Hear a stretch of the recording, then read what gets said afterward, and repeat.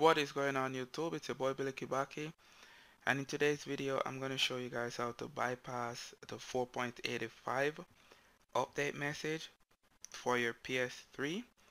You can do this on CFW but this is mostly for HFW users.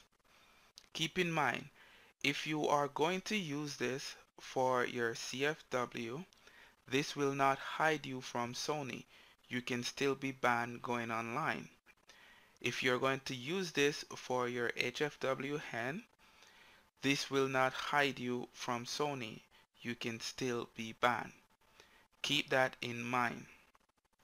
Alright, so let's go ahead and get started.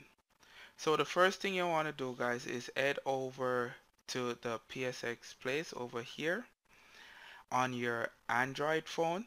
This will work with Android phone okay? And it's version 2.1 it's also compatible with a very old um, Android OS so I think it's compatible with 4.3 here it is 4. Point, um, 4.4.2 Jelly Bean okay?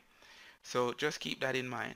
So it's for Android phones. You can use it on on your phone your tablet um, any Android device okay? So go ahead and download version 2.1 so go all the way down right here. This version also comes with an update notification on your cell phone or your Android device.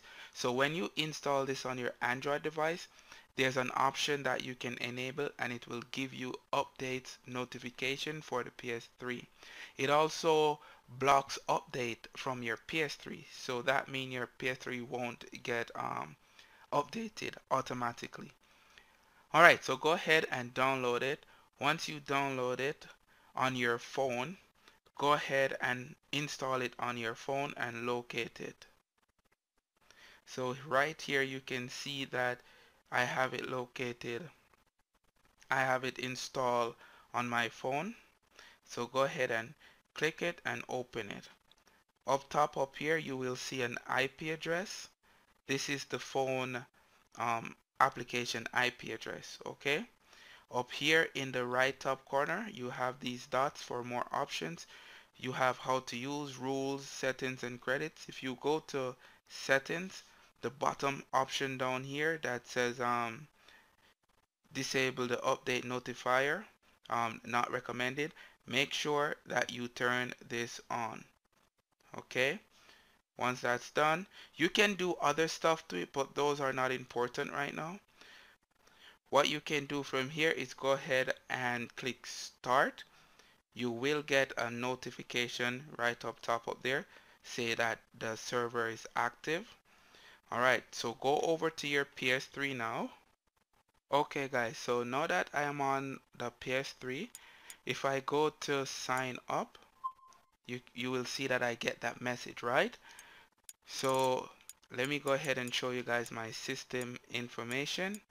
There it is 4.84 alright so all you have to do is go all the way down to network settings. Once you are right here press X press X again press X go to custom press X wireless X manual press right on the d-pad right again on the d-pad right on the d-pad. Keep pressing right until you come across the part that says proxy.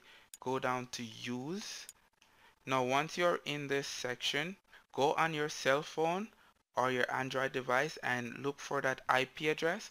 Now on the PS3 where it says address, go ahead and press X, delete everything.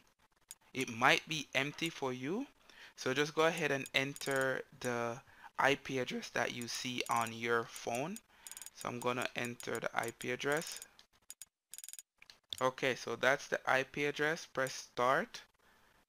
Okay, now press right on the d-pad right again. Press X. Okay press circle.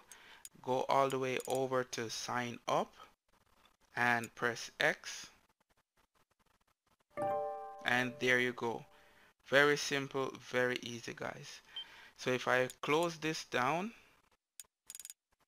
go all the way up to system update press X press X again it will say that I am on the latest.